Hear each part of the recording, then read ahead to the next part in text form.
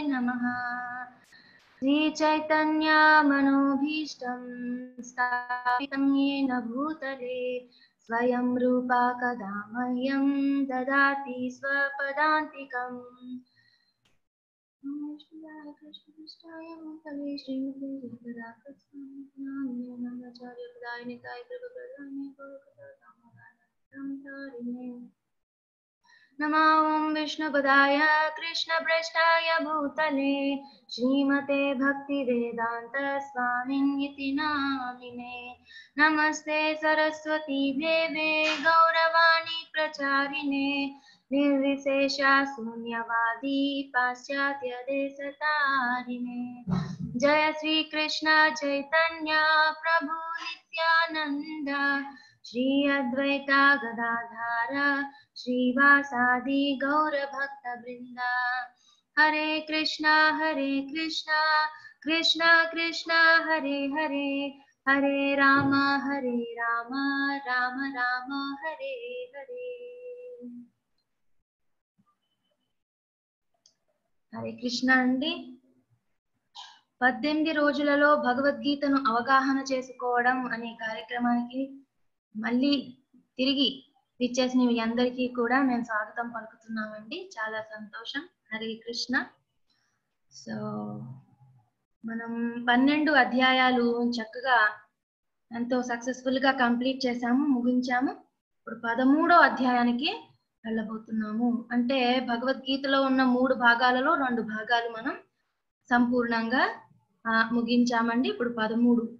అంటే last six chapters last six చాప్టర్స్ని మనం ఈ రోజు చూడబోతున్నాం. ఏమండి? ఈ రోజు అంటే ఈ రోజు నుంచి చూడబోతున్నాం. సో ఈ రోజు పదమూడో అధ్యాయము. ఆ- పదమూడో అధ్యాయంలోకి వెళ్ళే ముందు మనందరం కూడా ఒకసారి భగవత్ ప్రార్థన నాతో పాటు మీరు కూడా చేయండి. ఓం నమో భగవతే వాసుదేవాయ. ఓం నమో వాసుదేవాయ. ఓం నమో భగవతే వాసుదేవాయ.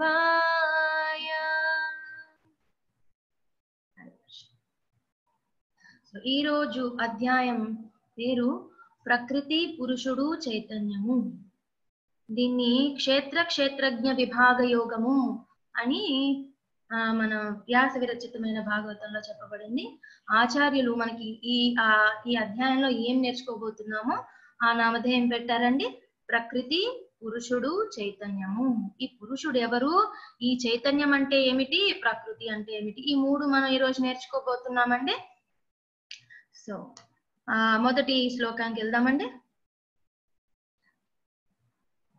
ఇందులో ఈ ఈ అధ్యాయంలో మనం కొన్ని పదాలను చూస్తాం. ప్రకృతి పురుష క్షేత్ర క్షేత్రజ్ఞ జ్ఞానం జ్ఞేయం అని ఒక ఆరు ఇంపార్టెంట్ పదాలని మనం మళ్ళీ మళ్ళీ తిరిగి తిరిగి చూస్తూ ఉంటామండి. అందుకని ముందుగా ఒకసారి మనం అవేంటి అని తెలుసుకుంటే మనకి ఈజీగా అర్థమవుతుంది.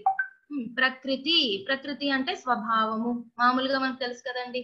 స్వ మీ మీ స్వభావం ఎట్లాంటిది? అతని స్వభావం చాలా మంచిది. ఆ విధంగా అంటూ ఉంటాం కదా స్వభావం అంటే అతని ప్రకృతి అన్నమాట. అయితే ఈ ప్రకృతి ఎవరికి సంబంధించింది? స్వభావం ఎవరిది? అంటే ఈ భౌతిక ప్రకృతి ఎవరికి సంబంధించింది?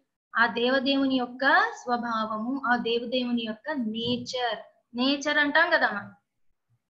మీ నేచర్ ఎట్లాంటిది? వారి నేచర్ ఎట్లాంటిది? అంటూ ఉంటాం కదా. ఎవరి నేచర్ అండి? ఇది భగవంతుని యొక్క ఆ ప్రకృతి. దాంట్లో చాలా ప్రకృతులు ఉన్నాయి. మనం ఈ రోజు ఏం చూస్తున్నాం? భౌతిక ప్రకృతి. ఈ మెటీరియల్ వరల్డ్ ఈ భౌతిక ప్రకృతి భగవంతుని యొక్క ఈ భౌతిక ప్రకృతి గురించి మనం నేర్చుకుంటున్నాం. ఇది మనందరికీ తెలుసు. పురుష పురుష అంటే ఎవరండి? ఆ పరమ భోక్త ఎవరు? ఎవరు మనం చేసే కార్యకలాపాలన్నింటినీ ఆస్వాదించేది ఎవరు? ఆ భోక్త ఎవరు? అనేవాడే పురుషుడు. అనేది మనం ముందు ముందు వచ్చినప్పుడు నేను ఇంకా క్లియర్గా చెప్తాను. క్షేత్ర క్షేత్ర అంటే నార్మల్గా మనం పొలాన్ని క్షేత్రము అంటాం. కదండి? పొలం దున్నడాన్ని క్షేత్రము అంటాం. సో దాన్ని ఇక్కడ ఏ విధంగా వాడాడు? భగవంతుడు క్షేత్ర అంటే దేహము శరీరము అనే ఒక అర్థంలో వాడాడు అనమాట అది ఎందుకో మళ్ళీ చూద్దాం. క్షేత్రజ్ఞ అజ్ఞ అంటే నేర్చుకునేవాడు తెలుసుకున్నవాడు. క్షేత్రజ్ఞ. ఈ క్షేత్రం గురించి తెలుసుకున్న వాళ్ళు ఎవరెవరు? క్షేత్రము అంటే దేహం అని చెప్పుకున్నాం కాబట్టి క్షేత్రజ్ఞ. ఆ దేహాన్ని తెలుసుకున్న వాళ్ళు ఎవరు? ఆ దేహం గురించి నాలెడ్జ్ ఉన్నవాళ్ళు ఎవరు అనే దాని మీద మనం నేర్చుకుంటాం. తర్వాత జ్ఞానం జ్ఞానం మనందరికీ తెలిసిన పదమే ఆ నాలెడ్జ్ జ్ఞానం అంటే నాలెడ్జ్ జ్ఞేయం జ్ఞేయం అంటే ఆ జ్ఞానం ద్వారా మనం పొందడానికి ఏది పొందాలని కోరుకుంటున్నామో ఆ గమ్యాన్ని జ్ఞేయం అంటారు. ఏమండి? దాన్ని పరమాత్మగా చెప్పబడింది. అంటే జ్ఞేయం అంటే భగవంతుడు. మనం ఈ జ్ఞానం పొందిన తర్వాత ఎవరిని పొందదలుచుకుంటున్నాం? ఆ భగవంతుని పొందదలుచుకుంటున్నాం. ఓకే లెట్ అస్ గో నా ఇంటూ ఫస్ట్ శ్లోక సో అర్జునుడు ఇక్కడ మొదటిగా మనకి ఈ అధ్యాయం మొదటిలోనే తిరిగి ప్రశ్నలు వేయడం ప్రారంభించాడు.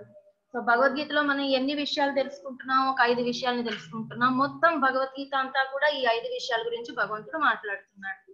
ఏమా సో సాహితీ వింటున్నావా? నిద్రపోతున్నావా సో ఆ ఈ ఐదు విషయాలు ఏమిటండి? ఆత్మ పరమాత్మ ప్రకృతి పురుష కాలము. మళ్ళీ. ఆత్మ పరమాత్మ ప్రకృతి కాలము. తర్వాత ఇంకొకటి ఏంటి ప్రకృతి కాలము పురుష. సో ఆత్మ పరమాత్మ అంటేనే పురుష ప్రకృతి కాల కర్మ. ఏమండి? ఆత్మ పరమాత్మ ప్రకృతి కాల కర్మం. ఈ ఐదు విషయాల గురించే భగవంతుడు భగవద్గీత అంతా కూడా మనకి నేర్పించాడు అనమాట సో సో నెక్స్ట్ ఫస్ట్ శ్లోకంలోనే అర్జునుడు ఆరు విషయాలని ఈ అధ్యాయంలో తెలుసుకుంటానికి ప్రయత్నించాడు అనమాట ఆ ఆరు వీటిని ఏంటో మనం చూద్దాం. అర్జున ఉవాచ ప్రకృతిం పురుషం చైవ క్షేత్రం క్షేత్రజ్ఞమేవ చ ఏతద్వేదితుమిచ్చామి జ్ఞానం జ్ఞేయం చ కేశవా. ఆరు విషయాలని ఇది మనకి క్వశ్చన్ క్వశ్చన్ ఆన్సర్స్లో వస్తుంది. ఇప్పుడు క్విజ్లో వస్తుంది. మీరు గుర్తుపెట్టుకోండి. ఎన్ని విషయాలను అడిగాడండి? ఆరు విషయాలని ప్రశ్నించాడు. అవేంటవి? ఇప్పుడు మనం చూసాం కదా ప్రకృతి అంటే ఏమిటి? పురుషుడు అంటే ఎవరు? క్షేత్రం అంటే ఏమిటి? క్షేత్రజ్ఞ అంటే ఎవరు? తర్వాత జ్ఞానం అంటే ఏమిటి? జ్ఞేయం అంటే ఏమిటి? ఇలా ఆరు ప్రశ్నలు అడిగాడు అనమాట ఏమండి? అర్జునుడు పలికెను. ఓ కృష్ణ! ఒక్క నిమిషం. ఓ కృష్ణ ప్రకృతి మరియు పురుషుని గూర్చియు క్షేత్రము మరియు క్షేత్రము లెరిగిన ఆ అడ్డుగా ఉంది ఒక్క నిమిషం. క్షేత్రము మరియు క్షేత్రము లెరిగిన వాని గూర్చియు జ్ఞానము మరియు జ్ఞాన లక్ష్యమును గూర్చిను గూర్చియు నేను తెలియగోరుచున్నాను. దీని అర్థం ఏమీ లేదండి. ఇప్పుడు మనం చూసిన ఆరు పదాల గురించి అడగడానికి ఆ వచ్చాడనమాట అర్జునుడు. ఆ ఆరు ఏంటో మనం ఒక్కొక్కటిగా ఇప్పుడు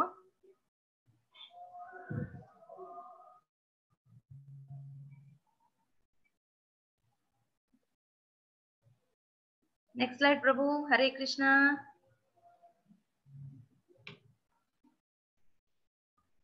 so భగవంతుడు ఏం చెప్తున్నాడు? శ్రీ భగవాను వాచ ఇదం శరీరం కౌంతేయ క్షేత్రం ఇతి విధీయతే ఏతద్యో వేత్తి తం ప్రాహు క్షేత్రజ్ఞ ఇతి తద్విధ శ్రీకృష్ణ భగవానుడు పలికెను ఓ కౌంతేయ ఈ దేహము క్షేత్రమనియు మరియు ఈ దేహము నెరిగిన వాడు క్షేత్రజ్ఞుడనియు పిలువబడును. చాలా ఈజీ ఏం లేదు. క్షేత్రం అంటే ఏమిటి? ఈ దేహము. క్షేత్రజ్ఞుడు అంటే ఈ దేహాన్ని గురించి తెలుసుకున్నవాడు క్షేత్రజ్ఞుడు. అంటే ఏమిటంటే ఇప్పుడు ఒక రాజు ఉంటాడు ఆ రాజుకున్న రాజ్యం అంతా కూడా ఆ రాజు క్రిందే ఉంటుంది కదండి? అయితే ఆ రాజు వివిధ క్షేత్రజ్ఞులకి అంటే వివిధ ఫార్మర్స్కి రైతులకి పొలాన్ని పంచుతాడు. ఈ ఈ చిన్న ఈ పొలాన్ని నువ్వు సాగు చేసుకో ఈ చిన్న పొలాన్ని నువ్వు సాగు చేసుకో అలా వివిధ రైతులకి పంచుతాడు అనుకోండి. అయితే వాటన్నిటికీ యజమాని ఎవరు? రాజు. అయితే ఆ చిన్న పొలానికి ఆ ఆ చిన్న రాజుగా ఉండేవాడు ఎవరు? ఆ పర్టికులర్ రైతు. ఏమండి? అయితే ఆ రైతు ఏ విధంగా దాన్ని సాగు చేస్తాడో ఆ విధమైన ఫలితాలను ఎలా పొందుతాడో అదే విధంగా ఈ దేహాన్ని ఈ దేహాన్ని భగవంతుడు ఒక క్షేత్రము ఒక పొలముగా పోల్చాడనమాట. క్షేత్రము అంటే ఒక ఫీల్డ్ ఏరియా ఆఫ్ వర్క్ ఇప్పుడు మన మన మన ఫీల్డ్ ఆఫ్ వర్క్ ఏంటండి? మీ మీ ఆఫీసులు అదే హౌస్ వైఫ్స్ అయితే మన మన గృహాలు ఈ విధంగా మన ఫీల్డ్ ఆఫ్ వర్క్ని క్షేత్రము అంటాం అనమాట సో ఈ ఆత్మకు భగవంతుడు ఇచ్చిన క్షేత్రం ఏమిటి? ఈ దేహము. ఈ దేహం ద్వారా మనం ఏమేమి కార్యకలాపాలు చేస్తాము? ఆ విధంగా మనం ఆ మంచి ఫలితాలు చెడు ఫలితాలను పొందుతూ ఉంటాం అన్నమాట. మనం సరిగ్గా పట్టించుకోకుండా ఆ పొలాన్ని ఆ రైతు సరిగ్గా చూసుకోకుండా ఉన్నాడు అనుకోండి ఏమవుతుంది? ఈ కలుపు మొక్కలన్నీ కూడా పెరిగి అసలు మొక్కలన్నింటినీ నాశనం చేసి మనకు చెడు ఫలితాలను ఇస్తుంది. తద్వారా ఆ రైతు ఆ చెడునంతా కూడా అనుభవించాలి. అదే సరిగ్గా దాన్ని సాగు చేసుకొని చక్కగా దాన్ని మెరుగుగా ఆ దాన్ని సాగు చేస్తే ఏమవుతుంది? మంచి మంచి ఫలితాలను అతను అనుభవిస్తాడు. మీకు అర్థమయ్యే ఉంటుంది? ఇప్పుడు ఈ దేహాన్ని మనం క్షేత్రంగా క్షేత్రంగా మనం అర్థం చేసుకోవాలి. ఇంకా కొంచెం అర్థం అవ్వాలంటే నెక్స్ట్ స్లైడ్ చూద్దాం. నెక్స్ట్ స్లైడ్ ప్రభు సో ఇంకా ఏం చెప్తున్నాడంటే భగవంతుడు క్షేత్రజ్ఞం చాపి మాం విద్ధి సర్వక్షేత్రేషు భారత క్షేత్ర క్షేత్రజ్ఞో జ్ఞానం ఎత్త ఎత్త జ్ఞానం మతం మమ. ఓ భరత వంశీయుడా సర్వ దేహములందును నేను కూడా క్షేత్రజ్ఞునని నీవు తెలుసుకొనుము. దేహమును మరియు దానిని ఎరిగిన క్షేత్రజ్ఞుని అవగాహన చేసుకొనుటయే జ్ఞానమని నా అభిప్రాయము. మీరేం కష్టపడకండి నేను చెప్తాను. ఈ క్షేత్రం ఏంటి క్షేత్రజ్ఞుడేంటి? ఆ కంగారేం లేదు. ఈజీగా మనం అర్థం చేసుకోవచ్చు. ఇప్పుడు ఇక్కడ ఈ ఇక్కడ మనం చూడొచ్చు ఈ పిక్చర్లో ఒక ఒక ఇల్లును చూస్తున్నాం మనం గృహాన్ని. అందులో మనం నివసిస్తూ ఉంటాం.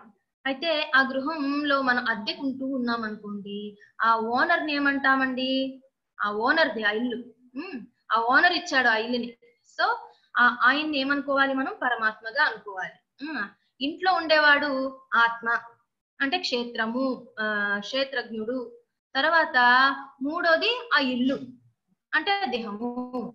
ఇల్లు దేహం అయితే దాంట్లో నివసించేవాడు ఆత్మ అయితే అసలు వాటి రెండింటినీ కూడా ఇచ్చిన వాడు ఆ పరమాత్ముడు హౌస్ ఓనర్ లాగా అన్నమాట ఏమండి? సో మనం అద్దె ఇంట్లో కూర్చొని ఏం చేస్తూ ఉన్నాము? ఇది నా ఇల్లు ఇది నా ఇల్లు ఇది నా ఇల్లు అనుకుంటూ దీనికి మంచి మంచి రంగులు వేయిద్దామా? దీనికి మోడర్నైజ్డ్ కిచెన్ పెట్టిద్దామా? దీనికి ఫర్నిచర్ని ఎట్లా ఏర్పాటు చేయాలి? ఏ ఏ దేశాల నుంచి రప్పించాలి? ఈ విధంగా మనం ఆలోచిస్తూ ఉన్నాం అనమాట అయితే అక్కడ మనం పర్మనెంట్ పర్మనెంట్గా ఉండేది లేదు. ఏదో ఒక రోజు అది అద్దె ఇల్లు కాబట్టి విడిచిపెట్టి మనం ఇంకొక ఇంటికి పోవాల్సి ఉంటుంది.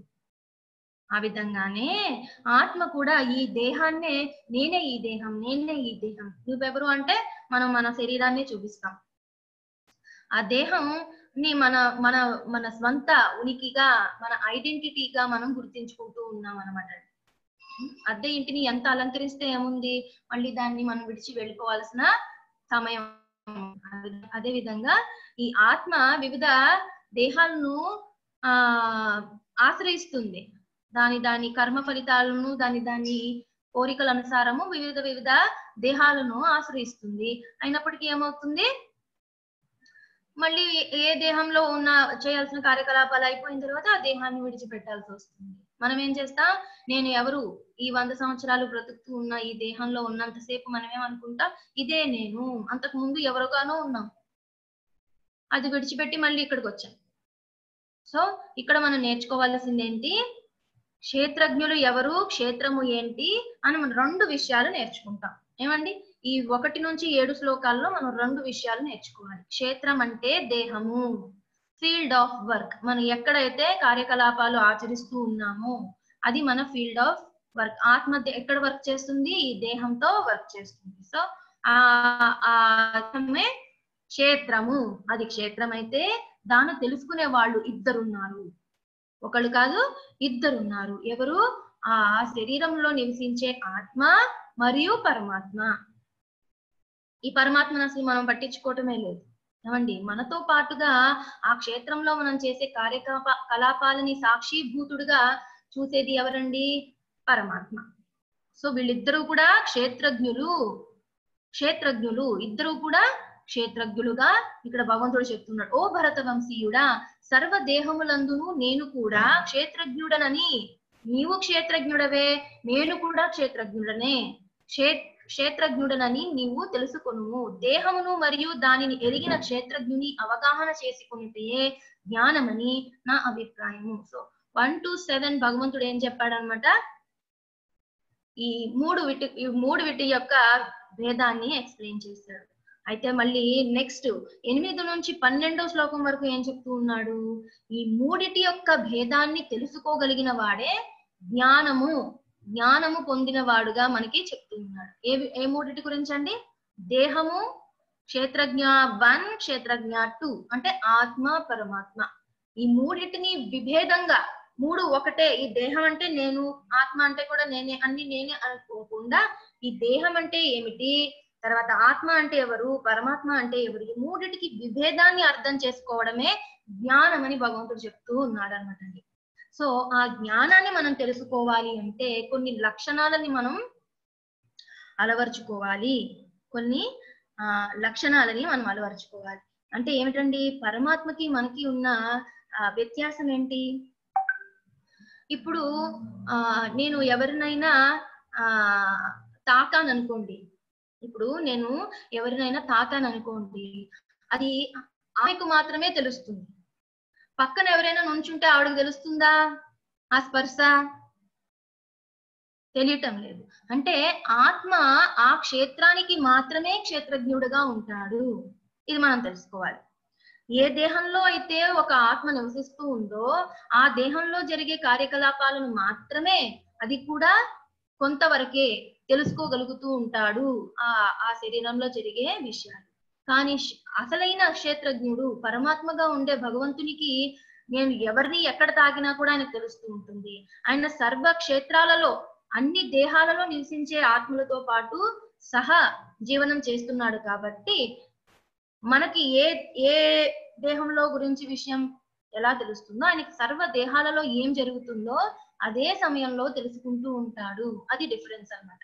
ఆత్మకి పరమాత్మకి. ఒక్క క్షేత్రం గురించే మనకి ఆ జ్ఞానం ఉంటుంది. కానీ పరమాత్మకి అన్ని క్షేత్రాల గురించి అంటే అన్ని దేహాలలో జరిగే కార్యకలాపాల గురించి ఇన్ఫర్మేషన్ ఉంటుంది. తర్వాత ఆయనే పరమ నియామకుడు అన్ని దేహములకు యజమాని అన్ని జీవులకు యజమాని పరమ నియామకుడు కంట్రోలర్ ఆర్ ఆఫ్ ఎవ్రీథింగ్ సర్వలోక మహేశ్వరం. ఈ పంచభూతాలతో తయారైన ఈ దేహం కూడా ఆయన ఇచ్చిందే. మనం సంపాదించుకున్నది కాదు. సో ఇది కూడా ఆయనకు సంబంధించిందే. ఇక్కడ అంటూ మనదంటూ ఏది లేదనమాట కానీ కొద్దిసేపు అద్దె ఇంట్లో మనకి ఎలాగైతే మన కంట్రోల్ ఇస్తారో ఓకే ఇవంతా మీరు ఇలా ఉపయోగించుకోండి ఈ విధంగా మీరు సుఖంగా జీవించండి అని ఆ యజమాని ఆ ఇంటి యజమాని మనకి చేతికి తాళం చే తాళం ఇస్తాడు. మనం సుఖంగా కొద్ది కాలం ఆ అద్దె ఇంట్లో నివసిస్తాం. అదే విధ ఆ కొంతసేపు మనమే నియామకులం. అదే విధంగా మనం సెకండరీ కంట్రోలర్గా ఈ దేహంలోకి ప్రవేశిస్తాం. కానీ పరమ నియామకుడు ఎవరు? భగవంతుడు. సో ఇది మనం అర్థం చేసుకోవాలి. డిఫరెన్స్ మనం అర్థం చేసుకోవాలి ఆత్మకి పరమాత్మకి ఉన్న డిఫరెన్స్ మనము భగవంతుడు ఒకే శరీరంలో నివసిస్తూ ఉన్నప్పటికీ మనం ఏ విధంగా నేర్చు తెలుసుకోగలుగుతాం? ఎంతవరకు మనం కంట్రోల్ చేయగలుగుతాం? అనేది మనం డిఫరెన్స్ అర్థం చేసుకోవాలి. కొద్దిపాటి నియంత్రణ మన చేతిలో పెట్టాడు భగవంతుడు. కానీ ఆ కంట్రోల్ని కూడా ఆయన కంట్రోల్ చేస్తూ ఉంటాడు. ఆ ఆ ఆ నియంత్రణ ఇచ్చే నియంత్రించే ఆ శక్తిని కూడా ఆయన నియంత్రిస్తూ ఉంటాడు. ఏమండి? తర్వాత ఆయన ఎప్పుడు పతనమయ్యే ఆ ఆస్కారం ఉండదు. భగవంతుడు పతనమయ్యే ఆస్కారం ఉండదు. ఇప్పుడు మనం పైనుంచి కింద పడిపోయాం. అలా భగవంతుడు కూడా కింద పడిపోతాడా? కింద పడిపోయే ఛాన్స్ ఉందా? అంటే లేదు.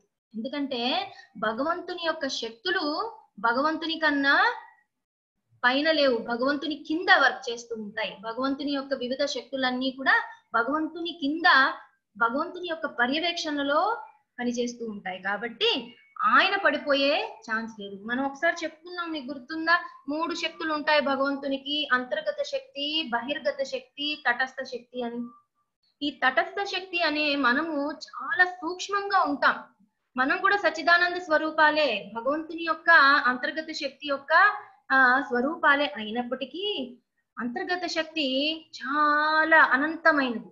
కానీ మనము చిన్న చిన్న విభిన్న అంశలం విడిపోయామన్నమాట మనం. విభిన్న అంశలం కాబట్టి అణుమాత్రంగా ఉంటాం కాబట్టి ఎప్పుడైనా మనం ఈ న్యూన శక్తి దిగువ స్థాయికి సంబంధించిన న్యూన శక్తి ఆధ్వర్యంలోకి వచ్చే ఆస్కారం ఉంది. అది కూడా ఎప్పుడు వస్తాము మన మన యొక్క కోరికల వల్ల. మన యొక్క పతనం మనల్ని పతనం చేసే కోరికల వల్ల మనం ఈ దిగువ స్థాయి ఆశ్రయంలోకి వచ్చేస్తాం. దిగువ స్థాయి శక్తిలోకి ఆ మనం ఆశ్రయంలోకి వచ్చేస్తాం. తటస్థ శక్తి అని అందుకనే అన్నమాట న్యూట్రల్. ఎప్పుడైనా ఇటు రావచ్చు ఎప్పుడైనా వెళ్ళొచ్చు. ఏమండి? మనం ఇక్కడే ఉంటూ ఉన్నాం అంతర్గత శక్తి ఆధ్వా ఆధ్వర్యంలో ఆధ్యాత్మిక జగత్తులో ఆనందంగా ఉన్నాం. కానీ మనకుండే పతనమయ్యే కోరికల వలన ఒక్కొక్కసారి మనం భౌతిక ప్రకృతి ప్రకృతి ఆధీనంలోకి వచ్చే ప్రమాదం ఉంది. బికాస్ మనం చాలా అణుమాత్రం. అని భగవంతుడికి ఆస్కారం లేదు. భగవంతుడి యొక్క ఆధీనంలో ఈ అన్ని శక్తులు సర్వ శక్తులు కూడా భగవంతుని యొక్క పర్యవేక్షణలో పనిచేస్తూ ఉంటాయి. సో ఇది మన కోసం ఇది కూడా ఎందుకు చెప్తున్నారు అంటే భగవంతుడు కూడా పడిపోతాడా అని మనకి ఒక ఆలోచన వస్తూ ఉంటుంది.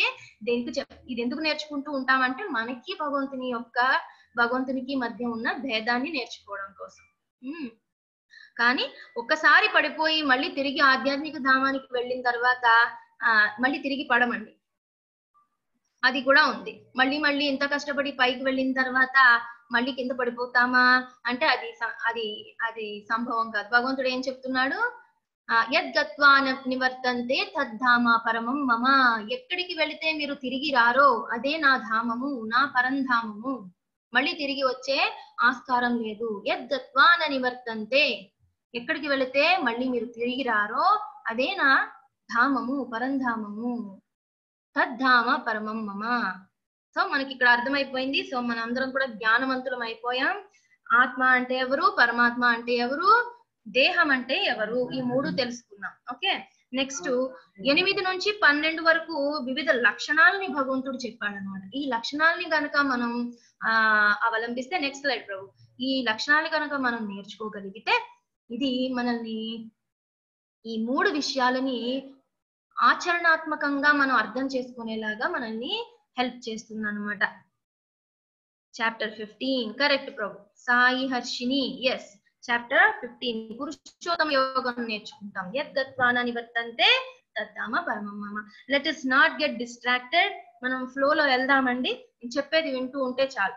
Don't type anything in the chat box okay మనం క్లాస్ మీద దృష్టి పెడదాం. Okay Sai Harshini thank you so ఎనిమిది నుంచి పన్నెండు ఏం చెప్తున్నాడు భగవంతుడు? వివిధ రకాలైన ఒక పద్దెనిమిది అరౌండ్ ఎయిటీన్ లక్షణాలు సద్గుణాలను భగవంతుడు నేర్పిస్తూ ఉన్నాడు. ఇది నేర్చుకుంటే కనుక మనం ఆ ఆ- ఆ మూడిటి యొక్క జ్ఞానాన్ని ఆ పరమ జ్ఞానాన్ని మనం ఆ మన హృదయ లోతుల్లో తెలుసుకోగలుగుతాం. పై పైన నేర్చుకోవడం కాకుండా మనం దాన్ని అవగతం సరిగా చేసుకోగలిగితే ఎవ్రీడే మనం చేసే ఆ దైనందిన కార్యక్రమాలలో మనం దాన్ని ప్రతిస్పందించేలాగా అది కనిపించేలాగా కనబరిచేలాగా మనం ఆ వాడచ్చు అనమాట ఆ జ్ఞానాన్ని విజ్ఞానంగా మార్చుకోగలుగుతాము. ఏమండి? సో ఈ పద్దెనిమిది మనం ఇప్పుడు కంప్లీట్ చేయలేకపోయినా ఒక ఆరు ఇంపార్టెంట్ లక్షణాలని మనం ఈ రోజు చూద్దాం. ఈ ఈ పద్దెనిమిది లక్షణాలలో ఒక ఆరు లక్షణాలని మనం చూద్దాం. అనన్య యోగేన. ఎందుకంటే ఈ ఈ జీవన శైలిని మార్చుకోకుండా మనం ఆధ్యాత్మిక జీవితంలో ముందుకు వెళ్దామంటే కుదరదు అనమాట దైనందిన మన దైనందిన జీవన శైలిని మార్చుకోక తప్పదు. తప్పకుండా మనం మార్చుకోవాలి. చక్కని అలవాట్లని నేర్చుకోవాలి. ఎలాగున్నామో అలాగనే ఉండిపోయి మనం ఆధ్యాత్మిక జీవితాన్ని గడుపుతామంటే కుదరదు. ఓకే. మనం ఎంత జ్ఞానాన్ని సంపాదించినా ఎంత పెద్ద సైంటిస్టులు రాకెట్ సైన్స్ చదివిన వాళ్ళమైనా కూడా ఎంత ఇంజనీరింగ్ సబ్జెక్టులు మనం గోల్డ్ మెడల్ సాధించినప్పటికీ ఆ నైపుణ్యము వీటిని అర్థం చేసుకోవడానికి ఏ విధంగానూ ఉపయోగపడదు. అది భౌతికమైన ఆ జ్ఞానము. భౌతికమైన జ్ఞానము. సో మనం ఇవన్నీ కూడా అనుకుంటాం. నేను ఇంత జ్ఞానం సంపాదించిన వాడిని నేను గోల్డ్ మెడల్ సంపాదించానని కానీ లేకపోతే నేను చాలా బాగుంటున్నాను కానీ అనుకుంటాను. ఇవేవి కూడా దీన్ని అర్థం చేసుకోవడానికి ఉపయోగపడవు అనమాట అండి. మనకేమి కావాలి? జీవితపు విలువలు. ఆ మన స్వభావము ఇవన్నీ కూడా మనకి చాలా ముఖ్యము. ఇవి అర్థం చేసుకోవడానికి. సో మొదటిది అనన్య ఆ, అనన్య యోగేన. అనన్య యోగేన అంటే ఏంటండి? అనన్యమైన భక్తి. నిన్న మనం నేర్చుకున్నాం కదండి అనన్య భక్తి. అంటే పరిపూర్ణమైన భక్తియుక్త సేవలో నిమగ్నమైనప్పుడు సతతం కీర్తయంతో మాం. ఎల్లప్పుడూ మనం భగవద్భక్తిలో నిమగ్నమై ఉంటే కనుక ఒకవేళ భగవద్గీత చదవలేని పరిస్థితిలో మనం ఉన్నా చదువు రాని వాళ్ళమైనా చదువు రాకపోయినప్పటికీ కూడా ఏమవుతుంది? ఆ జ్ఞానం ఆటోమేటిక్గా మన హృదయాంతరాలలో భగవంతుడే రివీల్ చేస్తాడు దాన్ని ఉద్భవి ఉద్భవింపజేస్తాడు. చదవనవసరం లేదనమాట చదవడం తప్పు కాదండి. ఇది కూడా ఆచార్య ఉపాసన అని రెండో లక్షణం వస్తుంది. ఆచార్యుల దగ్గర నేర్చుకోవచ్చు. మొదటిది అనన్య భక్తి చేయగలిగితే కనుక మనం చదువురాని వాళ్ళమైనా సరే ఆ జ్ఞానం మనకి హృదయాంతరాలలో వ్యక్తమైపోతుంది ఎవరు చేస్తారండి? దదామి బుద్ధి యోగంతం భగవంతుడే నేను ఇస్తాను ఆ బుద్ధిని ఆ జ్ఞానాన్ని నేను ఇస్తాను అంటున్నాడు అనమాట సో అనన్య భక్తి అన్నిటికన్నా ఆ అత్యంత ముఖ్యమైన లక్షణంగా చెప్తున్నాడు. రెండోది ఆచార్య ఉపాసన కూడా చెప్తున్నాడు భగవంతుడు. ఆచార్య ఉపాసనం అంటే ఆచార్యుని ఉపాసించడం అంటే సేవించడం. ఆచార్యుని ఒక గురువుని మనం ఒక ప్రామాణిక పరంపరలో వచ్చిన గురువుని ఆశ్రయించి ఆయనకి పాదసేవ చేసి మనం ప్రశ్నించి మన సందేహాలను తీర్చుకోగా మనకి ఆ, ఈ జ్ఞానం అబ్బుతుంది అంటున్నాడు. ఆచార్య ఉపాసన కూడా చాలా ఇంపార్టెంట్ ఆధ్యాత్మిక జగత్తులో. మనం సొంతగా ఏది చేయలేమండి. ఆధ్యాత్మిక జగత్తులో. సో ఆధ్యాత్మిక మార్గంలో. Hmm. సో ఆచార్య ఉపాసన చాలా ఇంపార్టెంట్. మనం నాలుగో అధ్యాయంలో నేర్చుకున్నాం కదా ఏవం పరంపరా ప్రాప్తం? పరంపర అనుగుణంగా వచ్చిన ఆచార్యుని మనం ఆ స్వీకరించాలి. Hmm. ఎవరు పడితే వాళ్ళని గురువుగా మనం ఏదో సాంస్క్రిట్ బాగా చదువుతున్నారని కానీ ఆ లేక భౌతికమైన బాహ్యమైన ఆ ఏ లక్షణాలను చూసి మనం గురువుని ఎంచుకోరాదు. ఈ గురువు నన్ను నా కర్మ ఫల ఫలాలన్నిటి నుండి విముక్తుని చేసి నన్ను భగవద్ధామానికి తీసుకెళ్ళగలడా అంత శక్తి ఉన్నదా? అని కొంచెం మనం పరిచి చూసుకోగలగాలి.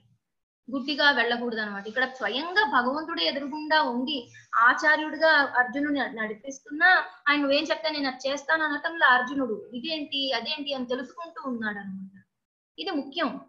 పరిప్రశ్నేనా చక్కగా ప్రశ్నలు అడగాలి సందేహాలు నివృత్తి చేసుకోవాలి. స్టెప్ బై స్టెప్ ముందుకు వెళుతూ ఉండాలి. గుడ్డిగా మనం సెంటిమెంటలిజం పనికిరాదండి.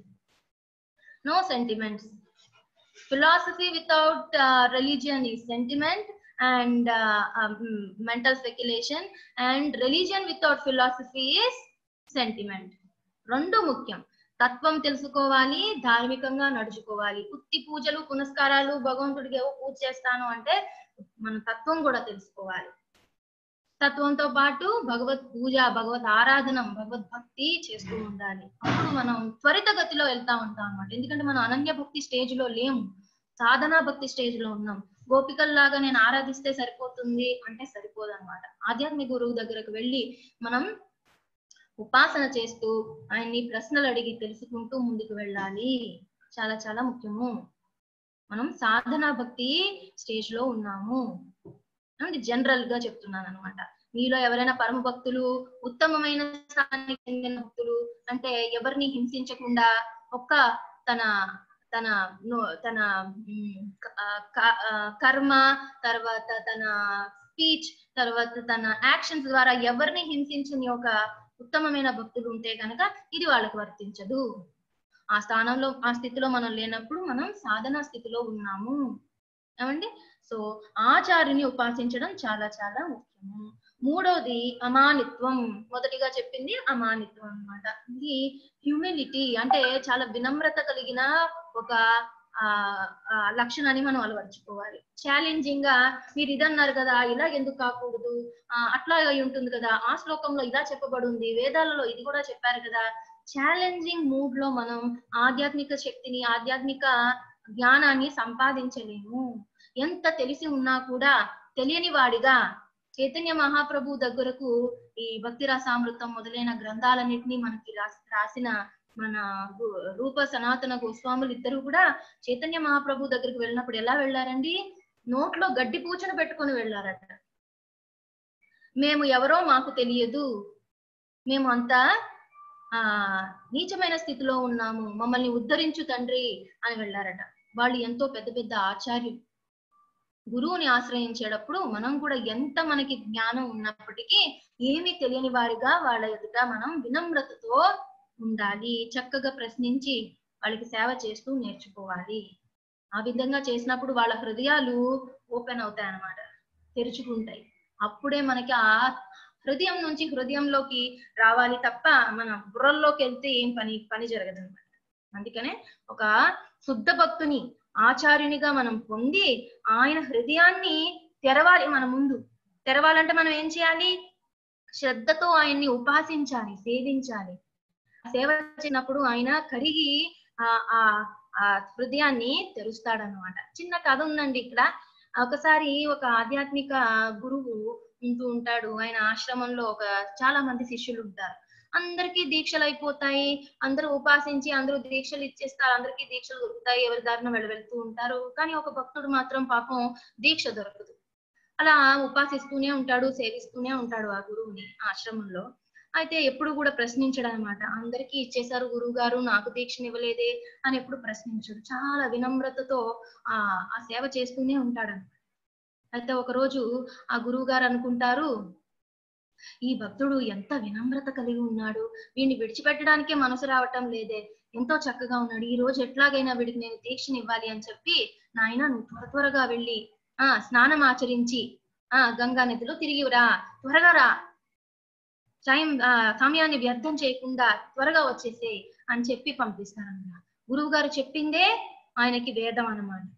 అప్పుడు త్వర త్వరగా త్వర త్వరగా ఆయన స్నానం ఆచరించడానికి ఆ గంగా నదికి వెళ్ళి తిరిగి వస్తూ ఉండగా ఈ లోపుగా ఆశ్రమంలో ఉన్న గురువు గారు ఏం చేస్తారు? నా నా శిష్యుడు ఒకడు ఉన్నాడు తండ్రి వాడిని ఎట్లాగైనా నువ్వు కృప చూపించు. ఈ రోజు నేను వాడికి దీక్షనివ్వాలనుకుంటున్నాను. నీ అనుగ్రహాన్ని ప్రసాదించు తండ్రి. వాడికి భగవద్ దర్శనాన్ని కలిగించు అని ప్రార్థిస్తూ ఉంటాడు అనమాట తన హృదయంతో. అంత అంత అంత ఆ మెప్పు మెప్పుగా పొందాడనమాట ఆ శిష్యుడు ఆ గురువు గారి దగ్గర. అయితే ఈ శిష్యుడు తిరిగి వస్తూ ఉన్నాడు పరుగు పరుగున త్వరగా వచ్చేయమన్నారు గురువు గారు నీ ఒక్క క్షణం కూడా వ్యర్థం చేయకుండా పరుగు పరుగున వస్తూ ఉంటే దారిలో ఒక దారిలో ఒక చెట్టు క్రింద భగవంతుడు శ్యా- శ్యామసుందర త్రిభంగ రూపంలో వేణు ఊదుతూ నుంచుని ఉంటాడనమాట. ఒక చెట్టు కింద ఈ శిష్యుడు చూస్తాడు చూసి ప్రణామం చేసి మళ్ళీ లేచి వెళ్తున్నాడు వెళ్తూ అనమాట ఇదేంటి? కృష్ణుడు ఆశ్చర్యపోతాడు. సాక్షాత్తు నన్ను పొందడం కోసం గురువుని ఆశ్రయించి ఇన్ని ఇన్ని రోజులు ఎంతో వినమ్రంగా సేవిస్తూ ఉన్నాడు. గమ్యమైన జ్ఞేయాన్ని అయిన నన్నే లక్ష్యమైన నన్నే సాక్షాత్తుగా పొందినా కూడా ఇలా పరిగెత్తుకుంటూ ఎక్కడికి వెళ్ళిపోతున్నాడు అని చెప్పి భగవంతుడు ఆశ్చర్యపోతాడు అనమాట అప్పుడు ఈ తిరిగి ఆశ్రమానికి వచ్చేస్తాడు. ఆశ్రమానికి వచ్చినప్పుడు ఈ గురువు గారు అంటారు ఇంత త్వరగా వచ్చేసావని నాయన నీకు దారిలో ఏమి ఆశ్చర్యకరమైంది కనిపించలేదా? అని అడుగుతారనమాట ఎందుకంటే భగవంతుడి యొక్క దర్శనం ఇవ్వాలి అని చెప్పి గురువు గారు చాలా గట్టిగా భగవంతునికి ప్రార్థన చేస్తూ ఉన్నారు. ఏం త్వరగా వచ్చేసావు నాయన? అంటే గురువు గారు నాకు మీరు అన్నట్టుగా శ్రీకృష్ణ భగవానుడు దేవాది దేవుడు త్రిభంగి రూపంలో నాకు దర్శనం ఇచ్చాడు అండి. కాకపోతే మీరు త్వరగా వచ్చేయమన్నారు కదా మీ మీ మీ ఆజ్ఞ నాకు శిరస ఆ, నాకు శిరస వహిస్తూ నేను వచ్చేసానండి తిరిగి ఆశ్రమానికి అంటాడనమాట. అప్పుడు ఆయన హృదయం కరిగిపోతున్నాడు గురువు గారి హృదయం. అంటే గురువు గారు కృష్ణుడిని ఇస్తున్నారు కాబట్టి కృష్ణుడితో సమానమైన వస్తువు గాని కృష్ణుడి కన్నా పెద్ద వస్తువు కానీ ఎక్కడ మనకి దొరకదు. మరి ఏ విధంగా గురువుకి మనం ఏమిచ్చి మనం ఆయన యొక్క ఏమంటాం ఆ రిణిని మనం ఎలా తీర్చుకుంటాం? రుణాన్ని ఎలా తీర్చుకుంటాము? చెప్పండి. కృష్ణుడిని భగవంతుడిని ఇస్తున్నాడు భగ- మనకి గురువు ఆయనకి ఏమిచ్చి మనం మరి దక్షిణ ఇవ్వాలి కదా? మనం ఏమిచ్చి ఆయనకి మనం రుణం తీర్చుకుంటాం? ఏమి ఇవ్వలేము అన్నమాట. అందుకనే ఎప్పటికీ ఆధ్యాత్మిక జగత్తుకు మనం వెళ్ళిపోయినప్పటికీ గురువుకి మనం ఎప్పటికీ రుణాన్ని తీర్చలేమటండి. అందుకని సదా ఆయన్ని సేవిస్తూనే ఉండాలి. అది గురువుకి శిష్యుడికి ఉండే ఆ ఒక బంధం. అప్పుడు ఆయన దీక్షనిచ్చి త్వరితగతిలో అతను భగవద్ధామం చేరేట్టుగా చూశాడనమాట అండి సాక్షాత్తు భగవంతుడే కనిపించినప్పటికీ కూడా మనం గురువుకి ఎక్కువగా మనం ప్రాధాన్యత ఇవ్వాలి. గురువు సా గురువు యొక్క ఆజ్ఞను మనం శిరసాగించాలి ఒక స్టెప్ భగవంతుడి కన్నా గురువే శిష్యుడికి ముఖ్యము. మన లక్ష్యము భగవంతుని చేరడానికి అయినా సరే గురువుని మనం ఎప్పుడైతే ఆ విధమైన భక్తి ఆ తో ఉంటామో. భగవంతుడు దాన్ని మెచ్చుతాడు. నా భక్తుని యొక్క సేవలో నిమగ్నమైన వాడే నా భక్తుడు అంటున్నాడు. డైరెక్ట్గా నాకు సేవ చేసేవాడు నా భక్తుడు కాడు. కాజాలడు దాస దాసాను దాస. నా దాసునికి ఎవరు దాసునికి ఎవరు దాసునిగా ఉంటారో వాడు నా భక్తుడు. డైరెక్ట్గా నేను కృష్ణ భక్తుడిని అన్నవాడు నా దాసుడు కాదు. గురువుని మనం ఆశ్రయించాలి. అండి? సో ఆ తర్వాత అమానిత్వం హ్యూమిలిటీ సో ఇవ ఈ విధమైన వినమ్రతను మనం కలిగి ఉండాలి. తర్వాత ఇక్కడ మీరు చూడొచ్చు అంబరీష్ మహారాజ్ యొక్క కథలో మనం చూసా దుర్వాస ముని అంతా ఆయనకి ఆ ఆ దుఃఖాలను ఇచ్చినప్పటికీ ఆయన ఒక్క మాట కంప్లైంట్ కూడా చేయలేదన్నమాట. నేనేమి చేయకుండానే ఆయన నన్ను ఇంత శపించారే అని ఒక్క కంప్లైంట్ కూడా చేయలేదు ప్రార్థించారు ఇంకా. ఆయనకి ఎటువంటి హాని జరగకూడదని ప్రార్థించారు సుదర్శన చక్రానికి. అది మనం చూసాం. తర్వాత అహింస. అహింస అనేది నాలుగోదిగా మనం చెప్పుకుంటున్నామండి.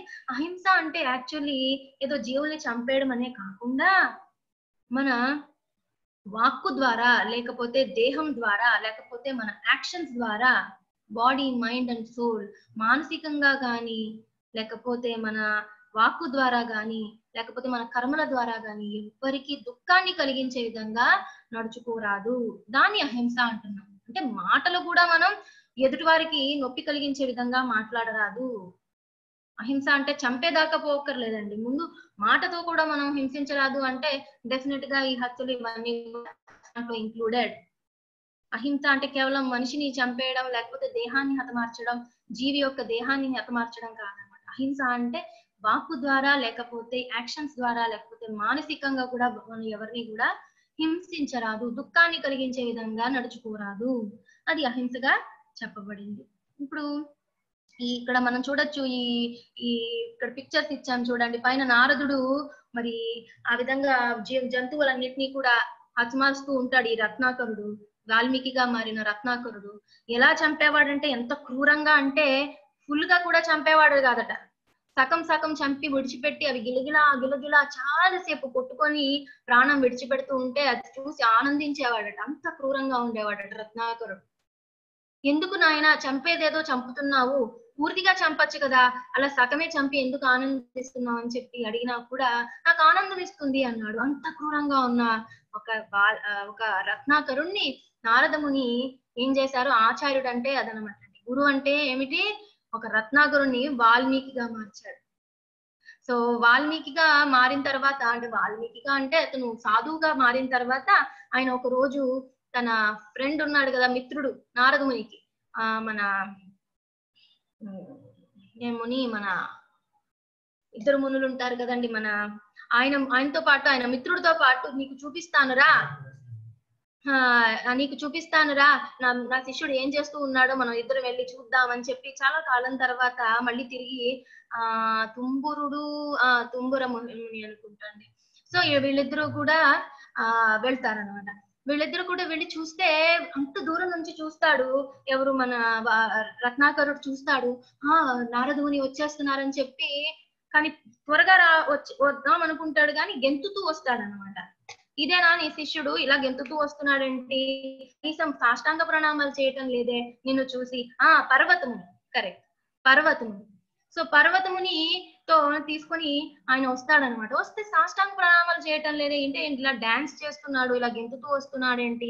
ఇదేనా నీ శిష్యుడు యొక్క గొప్పతనం అంటే అప్పుడు ఏం నాయనా ఇలా గెంతుతూ వస్తున్నా ఏంటి నీకు వచ్చిన బాధ అంటే ఆయన చెప్తాడనమాట దారి నిండా ఆయన ఉండేది అడవిలో కదండి దారి నిండా పురుగు. పుట్ర ఎన్నో రకాలైన జీవులు ఉన్నాయి నేను తొక్కితే అవన్నీ చనిపోతాయేమో. ఆ గురు గురువు గారు అందుకని నేను ఈ విధంగా జాగ్రత్తగా లేని చోట అడుగు వేసుకుంటూ జీవులు లేని చోట అడుగు వేసుకుంటూ మీ వద్దకు వచ్చానని అప్పుడు ప్రణామాలు చేస్తాడనమాట చూడండి చైతన్యం ఎంతగా మారిపోయిందో. సో అహింస జీవిని హింసించాలి అనే ఒక కోరిక నుండి మనం విడబడాలన్నమాట ఎవరిని హింసించరాదు. ఏ విధంగా కూడా. మానసికంగా కూడా హింసించరాదు వాక్కుతో హింసించరాదు ఏదైనా కార్యకలాపాలతో హింసించరాదు. అది అహింసలోకి వస్తుంది. తత ఆత్మ వినిగ్రహ అంటే సెల్ఫ్ కంట్రోల్ మన ఇంద్రియాలను నిగ్రహించుకోవాలి. ఇక్కడ చూడండి హరిదాస్ ఠాకూర్ ఆ చైతన్య మహాప్రభు యొక్క సహచరులు అనమాట ఆ పైన మీరు ఫస్ట్ ఫోటోలో చూస్తే తెలుస్తుంది. ఆయన ఒక గుహలో కూర్చొని జపం చేస్తూ ఉండేవారన్నమాట. నూట డెబ్బై రెండు నూట తొంభై రెండు మాలలు చేసేవాళ్ళట. పడుకోవడానికి ఆయనకి సమయం దక్కేది కాదు. ఇదనమాట అండి సతతం కీర్తయంతోమాం అంటే. మనం అంత చేయలేకపోయినా మన అధైర్యపడనవసరం లేదు. గురువు మనకి ఏమి ఆదేశం ఇచ్చారో అంతవరకు చేస్తే చాలండి భగవద్ధామం వీళ్ళందరూ కూడా ఆచార్యులు కాబట్టి వాళ్ళ విధంగా చేస్తూ ఉన్నారు. సో పడుకోవడానికి కూడా ఆయనకి ఆ సమయం లేదు. అయితే బా ఊర్లో ఒక ఒక ఈయన్ని వ్యతిరేకించే ఒక ఆయన ఏం చేస్తాడంటే ఒక వేశ్యను ఆ ఆయన్ని ఆయన దగ్గరికి పంపిస్తూ ఉంటాడు అనమాట ఏదో విధంగా అతన్ని పతనం చేస్తే ఆ అతనికి ఉన్న కీర్తి అంతా నశించిపోతుందని ఆ విధంగా ఏర్పాటు చేస్తాడు. ఆ వేసి వస్తుంది నా కోరికను తీర్చు అని అడుగుతూ ఉంటుంది అన్నాడు హరిదాస్ ఠాకూర్ని. సరే తల్లి నీకు నీ నీ కోరికను నేను ఆ, మన్నిస్తాను. కానీ నాకు ఇంకా ఈ రోజు చేయవలసిన మాలలు ఉండిపోయాయి.